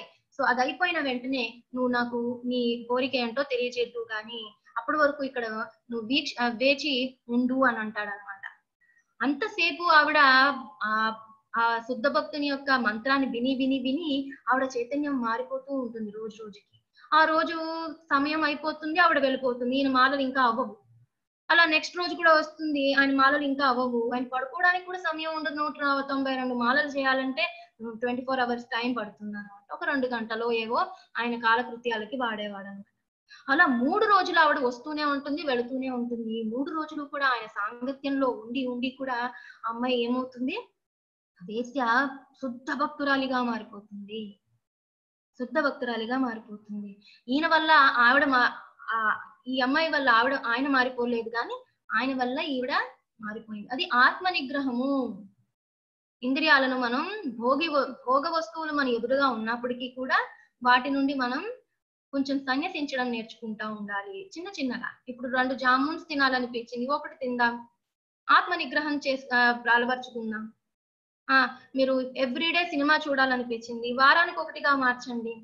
తగ్గిస్తూ పొండి. సన్యసించడం నేర్చుకోవాలి. ఇంద్రియ భోగం నుంచి మనం నెమ్మది నెమ్మదిగా నెమ్మది నెమ్మదిగా మనం అంచెలంచెలుగా దూరం అవ్వడానికి సన్యసించడానికి ప్రయత్నించాలి. తర్వాత. అరతిహి జన సమాధి ఇది చాలా చాలా ఇంపార్టెంట్. జన సమాధి అంటే ఈ భౌతికమైన కార్యకలాపాల్లో పూర్తిగా నిమగ్నమై ఆధ్యాత్మిక జీవితం మీద ఎటువంటి ఆసక్తి లేని వారితో మనం సాంగత్యం చేయరాదు. సాంగత్యం చేయరాదు. ఆ విధంగా చేస్తే ఏమవుతుందండి? ఆరు నెలలు సావాసం చేస్తే వాళ్ళు వీళ్ళు వారు అవుతూ ఉంటారు అంటారు మన తెలుగు వాళ్ళు. విధంగా మనం వాళ్ళకి చెప్పే బదులు వాళ్ళవన్నీ మనకు వస్తూ ఉంటాయి అనమాట నేర్చుకున్నదంతా కూడా ఆ గంగలో కలిసిపోతూ ఉంటుంది అనమాట సో సాంగత్యాన్ని మనం త్యజించాలి. అంటే ఎవరితో మాట్లాడకుండా మన ఇంట్లోనే కూర్చోవాలా? మరి ఆఫీస్లో మనం ఎంతో మందిని కలుస్తూ ఉంటాం పక్కింటి వాళ్ళతో మాట్లాడుతూ ఉంటాం. ఏ విధంగా అంటే ఇక్కడ చిన్న స్టోరీ ఉంది చూడండి. కింద ఈ నారదమునికి ఇంకొక పాము శిష్యుడు ఉండేవాడు అనమాట ఒక పాము కూడా ఆయనకి శిష్యుడే. జీవజాతులన్నీ కూడా ఆయన శిష్యులే. ఎంతో మందిని ఆయన ఉద్ధరించారన్నమాట ఈ పాము రూపంలో ఉన్న ఈ శిష్యుడు ఈయన ఈయన యొక్క ఏమంటారు బోధ వల్ల ఏమవుతాడంటే చాలా కోమలమైన హృదయంగా అయిపోతుంది అనమాట ఎవరిని కాటేయడం ఆ మర్చిపోతాడు అనమాట కాటేయడమే రాదు ఆయనకి. మర్చిపోయాడు. సాధు జంతువుగా అయిపోయాడు అనమాట ఈ పాము. అయితే పొద్దున్నే ఏదైనా తిండి తినడానికి కానీ దేనికైనా ఆయన బయటకు వచ్చినప్పుడు పుట్టలో నుంచి ఈ చిన్న చిన్న పిల్లలు ఆడుకుంటూ ఉంటారు కదా గ్రామంలో వీళ్ళందరూ ఏ ఈ పాము ఏమి కరవదు ఏం చేసినా? అని చెప్పి దాన్ని తాకు పట్టుకొని లాగడం దాన్ని రాళ్ళు పెట్టి కొట్టడం అట్లా ఏడిపిస్తూ ఉంటారన్నమాట. ఇలా రోజు జరుగుతూ ఉంటుంది. పాపం ఎంతో ఇబ్బందికి గురవుతూ ఉంటుంది ఈ పాము. అయినా కూడా ఏమీ అనదు. అలా చాలా రోజులు గడిచిన తర్వాత మళ్ళీ నారదముని ఒక రోజు వచ్చినప్పుడు ఏమంటుందంటే గురువు గారు ఈ విధంగా నేను సాధువుగా ఉంటు ఉంటున్నాను కానీ నాకు చాలా ఇబ్బంది జరుగుతుంది. భక్తి చేసుకోలేకపోతున్నాను. అందరూ కూడా నన్ను హింసిస్తూ ఉన్నారు. ఏ విధంగా నేను ఆ వీటి నుండి బయటపడాలి? నాకు కొద్దిగా సహాయం చేయండి అంటారు. నారదముని ఏం చెప్తారు? గురువు అంటే డైనమిక్గా ఉండాలి. పరిస్థితులు కాల సమయ ఆ పరిస్థితులు అనుగుణంగా మనకి ఆ ఆ, మనకి శిక్షణనివ్వాలి. సో ఏం చెప్తారు ఆయన? నీకు అయితే ఉన్నాయిగా కూరల్ని చూపించి బుస్ బుస్ అంటూ ఉండు వాళ్ళే పారిపోతారు. నువ్వు కాటెద్దు పురికినే బుస్ బుస్ అంటూ ఉండు కాటు వేసేగా యాక్షన్ చేయి వాళ్ళందరూ పారిపోతారు అని చెప్పాడు మేడం. సాధు జంతువుగా లోపల ఉన్నప్పటికీ బయటకి ఎలాగున్నాడు? అందరినీ భయపడుతూ ఉన్నాడు. క్రూరంగా బుస్ బుస్ అని బుసులు కొడుతూ ఉన్నాడట ఆ పాము పాము శిష్యుడు. అప్పుడు ఆ పిల్లలందరూ కూడా అమ్మో ఈ పాము నిజంగానే కాటేసేలా ఉంది. కూరలను చూపిస్తుంది అని చెప్పి వాళ్ళందరూ కూడా పారిపోయారు అనమాట అప్పటి నుంచి ఆయన భక్తికి ఎటువంటి ఆటంకము లేకుండా ఆయన ఆయన భక్తి చేసుకుంటా పరధామాన్ని చేరుకున్నాడు అనమాట ఆ విధంగా మనం బయట నడుచుకునేటప్పుడు బయటకి నార్మల్ సహజమైన వ్యక్తులు ఏ విధంగా ఉంటారో ఆ విధంగానే నడుచుకోవాలండి. ఆ విధంగానే ఉంటూ లోపల మాత్రం ఆ భక్తిని కాపాడుకుంటూ మనం ఆ సాధుత్వాన్ని లోపలే సంరక్షించుకుంటూ ముందుకు వెళ్ళాలి. ఆ ఇంద్రియాలన్నిటినీ కూడా లోపలికి ముట్టుకున్న విధంగా ఆ తాబేలు మనం కూడా బయట సాంగత్యాన్ని తీసుకోకుండా జాగ్రత్త పడాలి. సో ఈ ఆరు లక్షణాలని మనం నేర్చుకుందామండి. ఈ ఈ పద్దెనిమిది స్లో పద్దెనిమిది లక్షణాల్లో ఆరు లక్షణాలు మనం చూసాం. నెక్స్ట్ సెక్షన్లో పదమూడు నుంచి పంతొమ్మిది శ్లోకం నెక్స్ట్ స్లైడ్ ప్రో పదమూడు నుంచి పంతొమ్మిది శ్లోకాల వరకు భగవంతుడు ఆత్మ పరమాత్మ జ్ఞానాన్ని చెప్తూ ఉన్నాడు అనమాట సో అంటే ఆత్మ ఎవరు పరమాత్మ ఎవరు? తెలిసిందే ముందు నుంచి నేర్చుకుంటున్నాం. జ్ఞేయం యత్తత్ ప్ర ప్రవక్ష్యామి యజ్ఞత్వామృతమశ్నుతే అనాదిమత్ పరం బ్రహ్మ నసత్తన్నా సదుచ్యతే. దేనిని తెలుసుకొనుట ద్వారా నీవు అమృతత్వమును ఆస్వాదింపగలవో అట్టి తెలియదగి తెలియదగిన దానిని నేను వివరించును అనాదియును నాకు ఆధీనమును అగు బ్రహ్మము అంటే ఆత్మ అన్నమాట ఈ భౌతిక జగపు కార్యకారణములకు అతీతమై ఉండును. ఇది కొంచెం మనం క్లియర్గా అర్థం చేసుకోవాలి. ఏం లేదండి?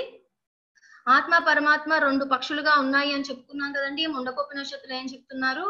ఒకే శరీరంలో ఒకే చెట్టు పైన ఒకే శరీరంలో రెండు పక్షులు ఉన్నాయి. ఆత్మ పరమాత్మ ఒకే శరీరంలో ఉన్నాయి.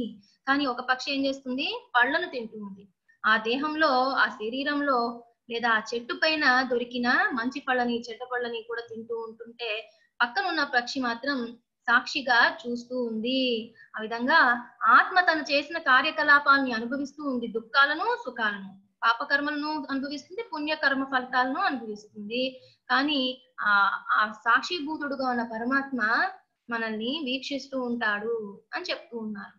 సో రెండు కూడా విభిన్నమైన వస్తువులు.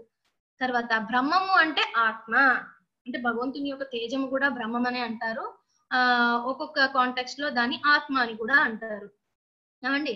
సో మనం కూడా భగవంతుని యొక్క బ్రహ్మ తేజస్సు లాగా సచిదానందంగా ఉంటాం.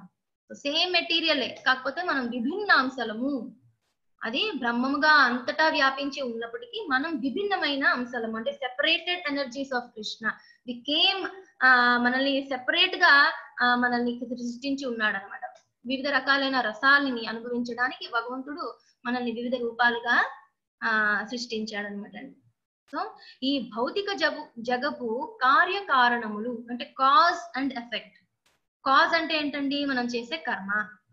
అది కాజ్ అన్నమాట. మరి ఎఫెక్ట్ ఏంటి? అది ఒకవేళ అకర్మ వికర్మ సకర్మ అయితే దాని అనుగుణంగా వచ్చే ఫలితాలు కారణాలు అవుతున్నాయి కర్మలు అవుతున్నాయి. రియాక్షన్స్ అవుతున్నాయి. కార్య కారణములు కాజ్ అండ్ ఎఫెక్ట్ అతీతమై ఉండును ఈ ఆత్మకి ఈ కాజ్ అండ్ ఎఫెక్ట్తో సంబంధం లేదు. దానికి యాక్చువల్లీ సంబంధం లేదు. అది తింటూ ఉన్నట్టు కనిపిస్తుంది కానీ ఆత్మ కాదు తినేది. ఆత్మ unaffected it cannot be touched by material things దాని అంటవు. మరి అయితే ఎవరు అనుభవిస్తూ ఉన్నారు ఈ సుఖ దుఃఖాలను? ఏ విధంగా మనం కార్యకలాపాలు చేస్తున్నాం? ఆత్మ చేయటం ఎవరు చేస్తూ ఉన్నారు? చెప్పండి. ఆత్మ ఎట్లాంటిదండి?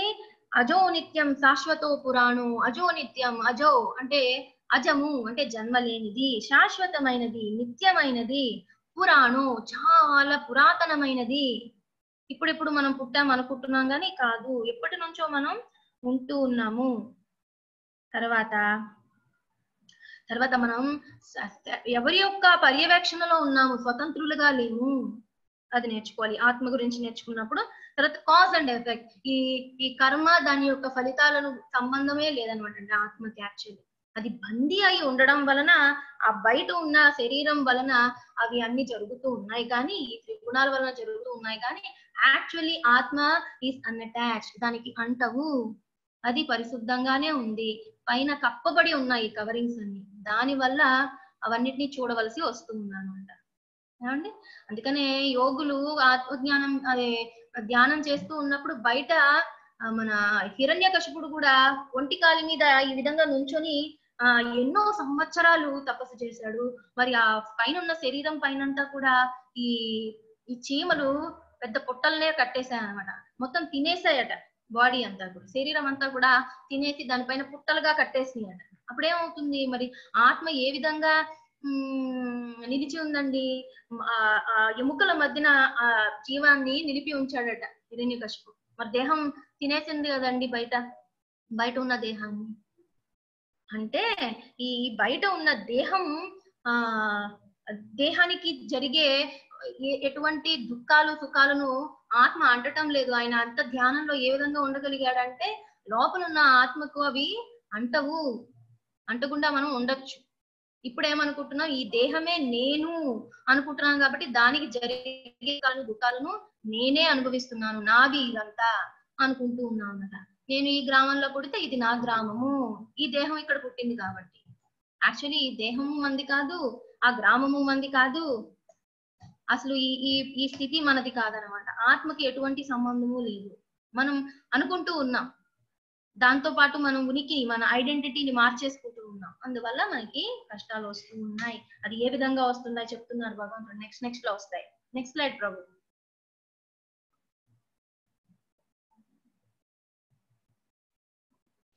పదహారో శ్లోకం. బహిరంతశ్చ భూతానాం అచరం చరం ఏవ చ సూక్ష్మత్వాత్ తద్ అవిజ్ఞేయం దూరస్థం చాంతికే చ తత్. పరమాత్ముడు స్థావర జంగములైన సర్వ జీవుల అంతర్బాహ్యములలో నిలిచి ఉండును. సూక్ష్మత్వ కారణముగా అతడు భౌతిక ఇంద్రియములకు అగోచరుడును అగ్రాహ్యుడుగాను అగ్రాహ్యుడుగాను అయి ఉన్నాడు. అతి దూరమున ఉన్నను అతడు సరువులకు సమీపమునే ఉన్నాడు. అంటే ఇప్పుడు ఆ స్థావర జంగమములైన సర్వ జీవుల అంతర్బాహ్యములలో ఉన్నాడు. అంటే సర్వ జీవుల్లోనూ పరమాత్మ స్వరూపుడుగా ఉన్నాడని మనం అందరం నేర్చేసుకున్నాం మనకు తెలుసు. ఎందుకు మనకు తెలియటం లేదు అంటే ఫస్ట్ థింగ్ ఆయన సూక్ష్మ రూపంలో ఉంటాడట. అందుకని మనం భౌతిక ఇంద్రియాలతో చూడలేము. మనం కరోనా వైరస్ నే చూడలేము. కరోనా వైరస్ని చూడలేనప్పుడు ఆ కరోనా వైరస్ని మనం చూడలేనప్పుడు భగవంతుని ఎక్కడ చూస్తాము? ఆత్మని ఎక్కడ చూస్తాం ఫస్ట్? చెప్పండి. అందుకని అది మన భౌతికమైన ఇంద్రియాలతో మనం చూడలేనిది. కరోనా వైరస్ లోపల కూడా ఉంటాడు భగవంతుడు పరమాత్మగా. ఆత్మ ఉంది కదండి అందులో జీవి ఉంది కదా అప్పుడు దాంట్లో కూడా పరమాత్ముడు ఉంటాడు. అంటే ఎంత సూక్ష్మమైన వాడు సూక్ష్మాలకే సూక్ష్మమైన వాడు ఆ అనంతమైన వాటికే అనంతమైన వాడు అంటారు భగవంతుడు. అగోచరుడు అతి దూరము ఉన్న ఉన్నను అతడు స్వర్గులకు సమీపమాడు. ఎంతో దూరంగా గోలోక బృందావనం మనకు అందనంత దూరంలో ఉన్నాడు ఆయన. భౌతిక జగత్తును దాటి ఆధ్యాత్మిక ఆకాశము దాటి వైకుంఠ లోకాలన్నిటినీ దాటి ఆ పైన ఎక్కడో గోలోక బృందావనంలో ఉన్నప్పటికీ మనకి దగ్గరగానే ఉన్నాడట. ఈ విధంగా అండి? పరమాత్మ స్వరూపంగా సమీపమునే ఉన్నాడు పరీక్షితుడు గర్భంలో ఉత్తర తన తల్లి గర్భంలో ఉన్నప్పుడు పరీక్షితుడు శిశువుగా అశ్వత్థాముడు బ్రహ్మాస్త్రాన్ని విడిచిపెట్టాడు. బ్రహ్మాస్త్రాన్ని విడిచిపెట్టినప్పుడు ఉత్తరకి తెలిసిపోయింది. నా శిశువుని హతమార్చడానికే ఆ బ్రహ్మాస్త్రాన్ని విడిచిపెట్టాడు అని తెలిసిపోయింది ఉత్తరకి. వెంటనే ఆవిడ ఏం చేసింది? కృష్ణుని శరణాగతి పొందింది. ఉత్తర ప్రార్థనలు మనం భాగవతంలో చదవచ్చు. శరణాగతి పొందినప్పుడు భగవంతుడు ఏం చేశాడండి? లోపల పరమాత్మ స్వరూపంగా ఉన్నాడు కదండి. ఆ పరమాత్మ స్వరూపుడే ఉత్తర హృదయంలో ఉన్న పరమాత్మ ఆ శిశువుని అంతటినీ కూడా కప్పివేశాడట. కప్పివేసినప్పుడు ఆ బ్రహ్మ బ్రహ్మాస్త్రం యొక్క తేజస్సు నిర్వీర్యం అయిపోయిందట న్యూట్రలైజ్ అయిపోయిందట. ఆ విధంగా ఆ బ్రహ్మాస్త్రాన్ని ఆ శిశువుని ఆ అంటకుండా తాకకుండా భగవంతుడు రక్షించాడు. అప్పుడు ఆ పరీక్షితుడు లోపల నుండి పరమాత్మను దగ్గరగా చూశాడట. ఉత్తర గర్భంలో ఉన్న ఆ ఆ పరీక్షితుడు చాలా దగ్గరగా చూశాడట. అందుకనే మళ్ళీ బయటకి పుట్టిన తర్వాత కూడా వెతుకుతూ ఉన్నాడట. ఎవరు ఆ సుందరమైన స్వరూపం ఎవరిది? అతను ఎవరు? అతను ఎవరు అని వెతుకుతూ ఉన్నాడంట. అందుకని ఆయనకి పరీక్షత్తు పరీక్షిత్తు అని ఆయనకి నామధేయం వచ్చిందట. ఆ భగవంతుడిని వెతుకుతూ ఉన్నాడు అనమాట అంటే చిట్టి పిల్లాడుగా గర్భంలో ఉన్నప్పుడే భగవంతుని యొక్క దర్శనం పరీక్షితునికి జరిగిపోయింది. అనండి సో ఆయన సర్వ వ్యాపకుడు తర్వాత ఆయన ఇంద్రియాలు మన వంటి ఇంద్రియాలు కాదు అది మనం మొన్న నేర్చుకున్నాం. అంగానియస్య సకలేంద్రియ వృత్తి మంతి ఒక ఒక ఇంద్రియ ఎన్ని కార్యకలాపాలైనా చేయగలుగుతాడు. నిర్గుణుడు అంటారు చాలా మంది నిర్గుణుడు అంటే ఏంటండి? మన భౌతికమైన ఈ సత్వరజో తమో గుణాలకి అధి ఆ- అధిపతి ఆయన. ఆ గుణాలు ఆయనకి అంటవు అని అర్థం. నిర్గుణుడు ఇటువంటి భౌతిక గుణములు ఆయనకి లేవు అని అర్థం. ఏమండి? తర్వాత ఆయన ఇంద్రియాలు మన వంటివి కాకపోయినా మన ఇంద్రియాలన్నిటికీ కూడా ప్రభువు భగవంతుడే. హృషికేన హృషికేశ సేవనం. హృషికేశ అంటే మన ఇంద్రియాలన్నిటికీ కూడా ప్రభువు స్వామి. అందుకనే మన ఇంద్రియాలన్నిటినీ కూడా భగవంతుని యొక్క సేవలో నిమగ్నం చేసినప్పుడు భక్తి రుచ్యతే. అది ఉత్తమమైన భక్తి. ఉత్తమమైన భక్తి. Next slide Prabhu.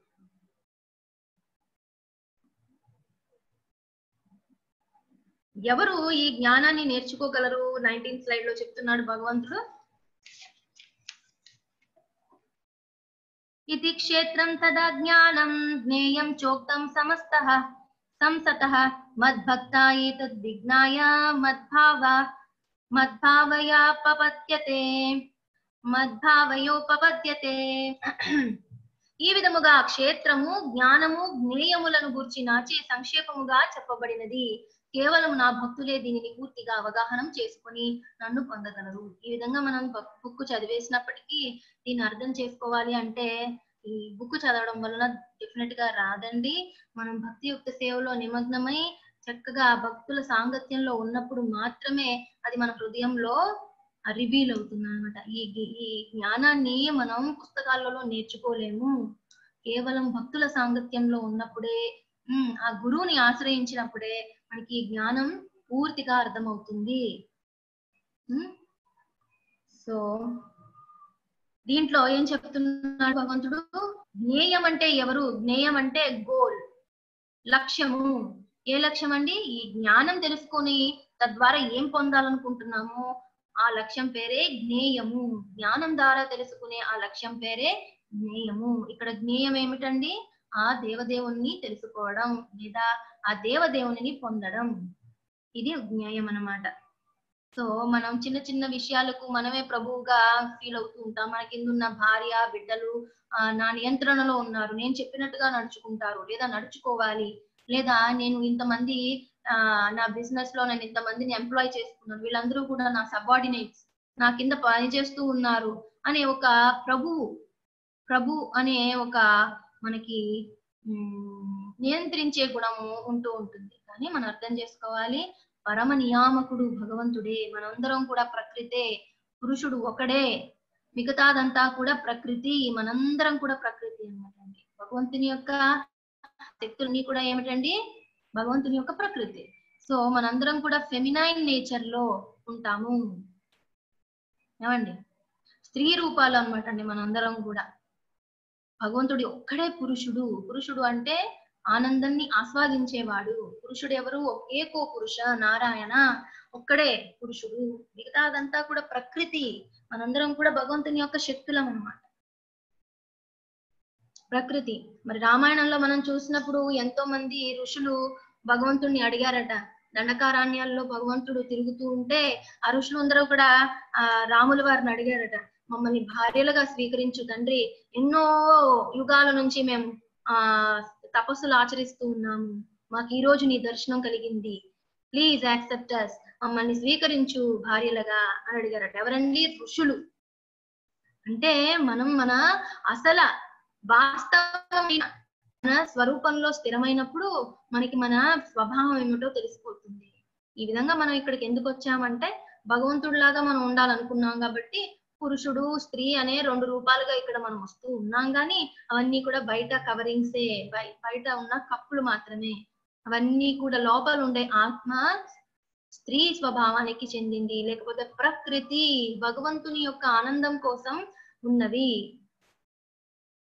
సో ఆ మనం అర్థం చేసుకోవాల్సింది ఏంటి భగవంతుని యొక్క ఆనందం కోసం మనందరం కూడా ఉన్నాం. పురుషుడు మాత్రం ఒక్కడే ఆ జ్ఞేయం ఎవరండి? పరమాత్మ. Next slide Prabhu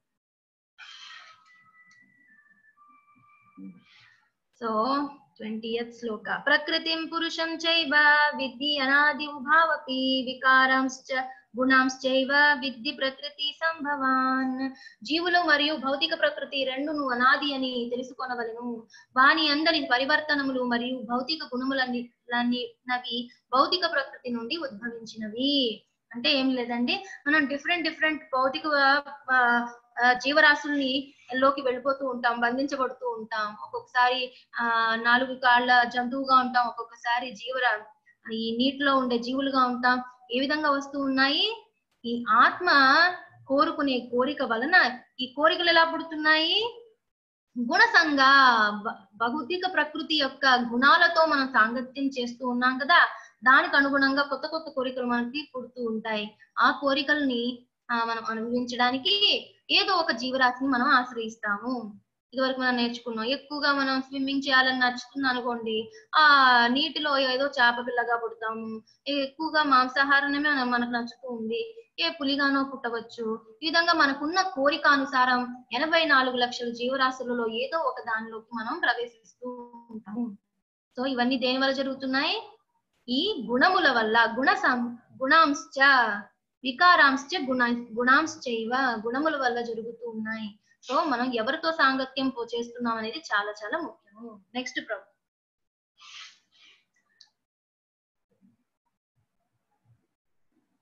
next slide Prabhu ఇరవై రెండు. పురుష ప్రకృతిస్థో హి భుంక్తే ప్రకృతి జాన్ గుణాన్ కారణం గుణ సంగోస్య సదస్స యోని జన్మషు చూసారా ఇక్కడ చెప్తున్నాడు. గుణ సంగోస్య మళ్ళీ మళ్ళీ చెప్తున్నాడు భౌతిక ప్రకృతి అందు త్రిగుణముల అనుభవించుచు జీవుడు ఈ విధముగా జీవనమును సాగించును. భౌతిక ప్రకృతితో అతనికి గల సంగత్వమే దీనికి కారణము.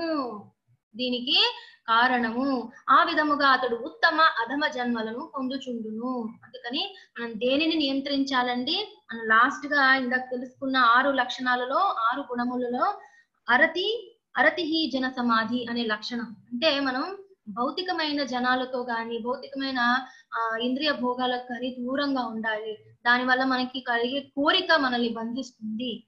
మళ్ళీ మళ్ళీ బంధిస్తుంది. కోరికల్ని మనం నియంత్రించుకోవాలి. కోరిక నుండే ఈ గుణాలు ఉద్భవిస్తున్నాయి. గుణాల వల్లే మనం కొత్త కొత్త శరీరాలని పొందుతూ ఉన్నాం. ఇంటర్ రిలేటెడ్ అండి. అన్ని కూడా డైనమిక్గా వర్క్ చేస్తాయి. ఏమండి? సో కోరికలను మనం గుణాలను రెండిటిని కూడా అంటే ఏ గుణంతో మనం సాంగత్యం పొందుతున్నాం రెండిటిని కూడా మనం చూసుకుంటూ ఉండాలి చాలా అలర్ట్గా. Hmm. నెక్స్ట్ ప్రభు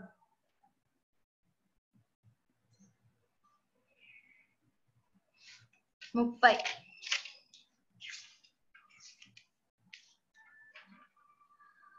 ప్రకృతైవ చ కర్మాణి క్రియమాణాని సర్వసః యః పశ్యంతి తదాత్మానం అకర్తారం భౌతిక ప్రకృతిచే సృష్టించబడిన దేహము చేతనే సర్వ కార్యములు వనరింపబడుచున్నవనియు మరియు తాను అకర్తననియు.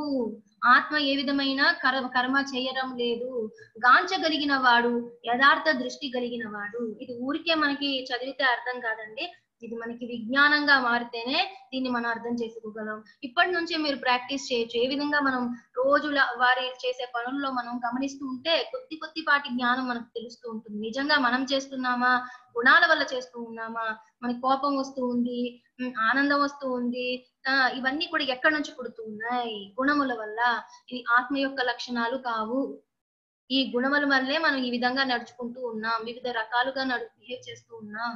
అని మనం తెలుసుకోవచ్చండి. కొద్దిపాటి అలర్ట్గా మనం మనం ఉంటే కనుక మనం కొద్ది కొద్దిగా కొద్ది కొద్దిగా దాన్ని ఆ విజ్ఞానంగా మార్చుకోవచ్చు అన్నమాట తర్వాత ప్రభు.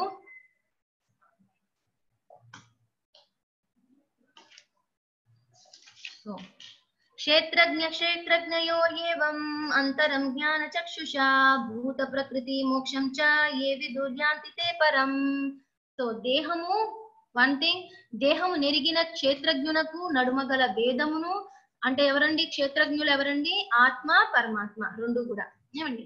సో దేహము మరియు దేహము నెరిగిన క్షేత్రజ్ఞునకు నడుమగల వేదమును భేదమును జ్ఞాన దృష్టితో దర్శించి ప్రకృతి బంధము నుండి మోక్షమును బడి విధానమును నెరుగగలిగిన వారు పరమగతిని పొందగలరు. సో ఈ మూడిటికి భేదాన్ని మనం కరెక్ట్గా తెలుసుకోగలగాలి. ఎవరు? దేహం గురించి ఆత్మ పరమాత్మ ప్లస్ ఈ భౌతిక ప్రకృతి. ఈ నాలుగు కూడా ఏ విధంగా పనిచేస్తూ ఉన్నాయి మన మీద అనేది మనం తెలుసుకోగలిగితే జ్ఞాన చక్షుష జ్ఞానం అనే చక్షుష. జ్ఞానం అనే చక్షువులతో జ్ఞానం అనే నేత్రాలతో మనం వీటిని తెలుసుకోవడానికి ప్రయత్నించాలి. అప్పుడు మనం పరమగతిని పొందే మార్గం దొరుకుతుంది అని చెప్తూ ఉన్నాడు అనమాట అండి. గీతా పాఠం చూద్దామండి. ఆ ఇక్కడ అర్జునుడు మొదట ఆరు ప్ర- ఆరు ప్రశ్నలు వేశాడు.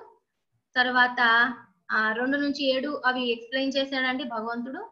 తర్వాత ఈ జ్ఞానాన్ని ఏ విధంగా మనం పొందాలి అనేది ఒక పద్దెనిమిది లక్షణాలుగా మనం ఆ చెప్పుకున్నాము. ఎనిమిది నుండి పన్నెండు శ్లోకాలలో భగవంతుడు ఎక్స్ప్లెయిన్ చేశాడు. తర్వాత పదమూడు నుంచి పంతొమ్మిదిలో మన సర్వతహా పానిపదం తత్ ఆబ్జెక్ట్ ఆఫ్ నాలెడ్జ్ ఈ వీటిని నేర్చుకోవడానికి కారణం ఏంటి మన లక్ష్యం ఏంటి ఎవరి గురించి తెలుసుకుంటూ ఉన్నాం తెలుసుకోవాలనుకుంటున్నాం? అది గోల్ అన్నమాట లక్ష్యము. జ్ఞేయము అంటే పరమాత్మ గురించిన ఆ ఆ, తెలుసుకోవడానికి ఇవంతా కూడా మనం నేర్చుకున్నాము. తర్వాత ఇరవై నుంచి ఇరవై ఆరు కారణం గుణ సంగదు గుణ సంగోస్య అంటే గుణం గుణాలే అసలైన కారణము. ప్రకృతి పురుష అండ్ యూనియన్. ఇవన్నీ కలిపి ఏ విధంగా మనల్ని ఆ మనల్ని మన మీద ఎఫెక్ట్ చూపిస్తున్నాయి అనేది మనం ఇక్కడ నేర్చుకున్నాం. కారణం గుణ సంగోస్య.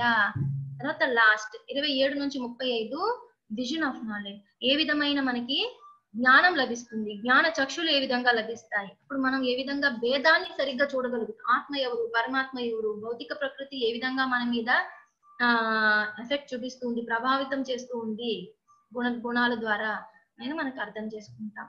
ఇది చాలా నెక్స్ట్ వచ్చే చాప్టర్ ఇంకా ముఖ్యమైనదండి మూడ్స్ ఆఫ్ నేచర్ రేపు దీని మీదే ఎలాబరేట్ చేస్తాడు భగవంతుడు. చాలా ముఖ్యం.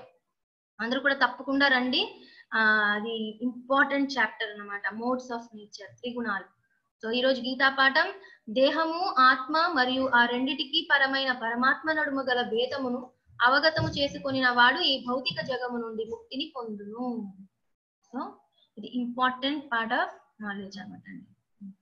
సో అందరం కూడా ఒకసారి కృష్ణ మహామంత్రాన్ని జపిద్దామండి మూడు సార్లు చేతులు పైకి పెట్టి చక్కగా హరే కృష్ణ హరే కృష్ణ కృష్ణ కృష్ణ హరే హరే హరే రామ హరే రామ రామ రామ హరే హరే హరే కృష్ణ హరే కృష్ణ కృష్ణ కృష్ణ హరే హరే హరే రామ హరే రామ రామ రామ హరే హరే హరే కృష్ణ హరే కృష్ణ కృష్ణ కృష్ణ హరే హరే. హరే రామ హరే రామ రామ రామ హరే హరే. ఈలోపు మీరు పోలింగ్ క్వశ్చన్స్ ఆన్సర్ చేయండి. ఎవరికైనా ప్రశ్నలు ఉంటే అడగచ్చు.